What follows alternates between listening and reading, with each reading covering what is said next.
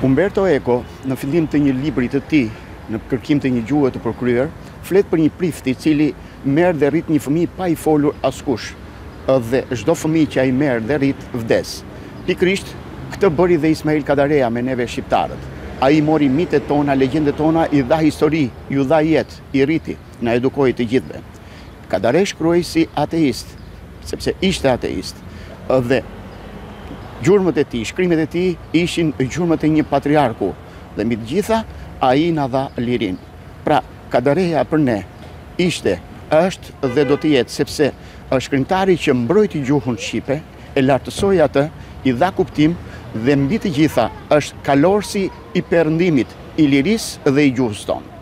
Një ngjarje shumë e hidhur na goditi duke u gdhirë një korriku edhe në mënyrë metaforike unë do të shprehesha se një mal i madh u rrëzua. Iku Kadareja.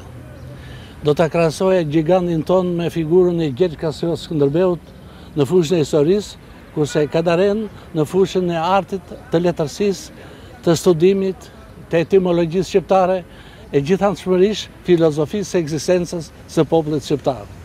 Nuk ka rast të dytë të krahasohet me Ismail Kadarenë për sa i përket madhështisë së konceptimit të figurës së shqiptarit dhe raportit të tij në Evropë me qytetarët e tjerë të Evropës, duke dhënë dedikimin e duhur dhe restën e duhur kujtdo në Evropë dhe në botë që mohonte figurën e shqiptarit.